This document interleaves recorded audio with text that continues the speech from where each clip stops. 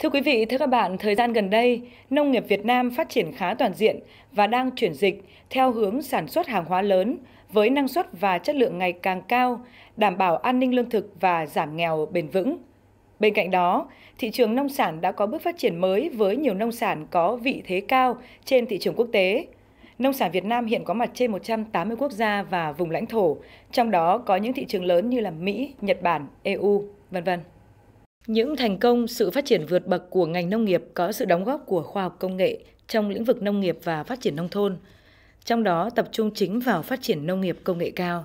À, nông nghiệp thì vẫn là trụ cột, là nền tảng của phát triển kinh tế xã hội Việt Nam. Đặc biệt là trong cái thời gian khủng hoảng Covid vừa rồi thì chúng ta càng thấy cái vai trò của nông nghiệp trong cái việc mà à, ổn định đời sống dân sinh kinh tế cũng như là à, xuất khẩu. À, trong hơn à, hai chục các cái chuỗi ngành hàng mà có xuất khẩu hơn 1 à, tỷ đô la thì nông nghiệp là chiếm ờ, là bốn cái cái ngành hàng quan trọng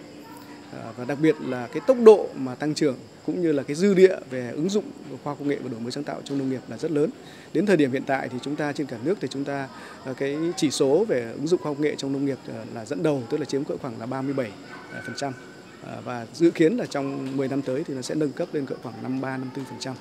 và đây là những cái tiềm năng rất là lớn. Để ngành nông nghiệp phát triển nhanh, bền vững, khẳng định được giá trị thương hiệu, sản phẩm cần tăng cường đẩy mạnh ứng dụng, chuyển giao công nghệ, đặc biệt chuyển giao công nghệ cao, nông nghiệp thông minh thích ứng với biến đổi khí hậu, nông nghiệp sinh thái, đồng thời nâng cao chất lượng nguồn nhân lực trẻ cho công tác nghiên cứu.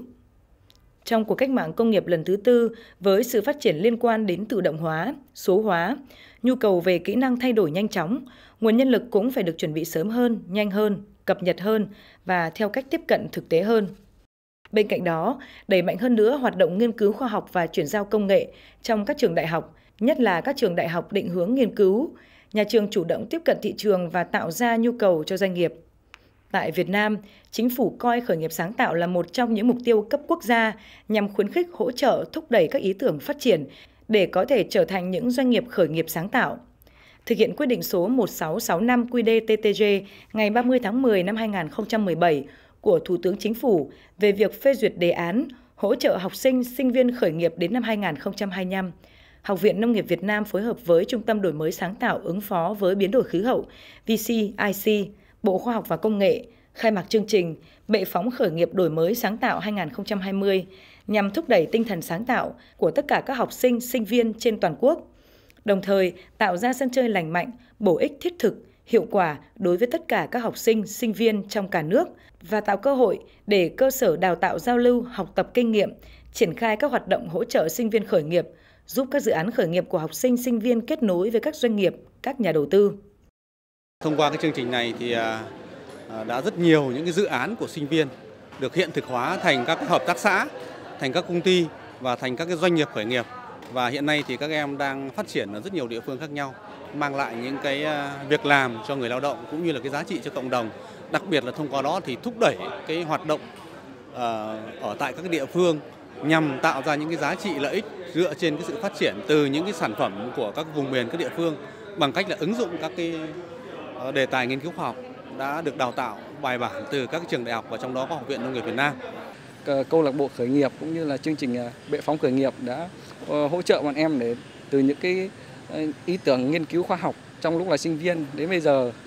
là sẽ đưa ra thành các cái sản phẩm để bọn em có thể khởi nghiệp và đưa ra thành thương mại hóa và sẽ ngoài những cái uh, giúp ích cho ờ, bản thân bọn em ra thì còn giúp ích được rất là nhiều các cái lợi ích cho người nông dân. Trong 10 năm trở lại đây, Việt Nam đã nghiên cứu và chuyển giao vào sản xuất hàng trăm quy trình kỹ thuật trong trồng trọt, chăn nuôi, lâm nghiệp. Đặc biệt, việc áp dụng quy trình thực hành sản xuất nông nghiệp tốt, Việt Gáp ngày càng mở rộng và hiệu quả, mang lại sản phẩm an toàn chất lượng, năng suất cao.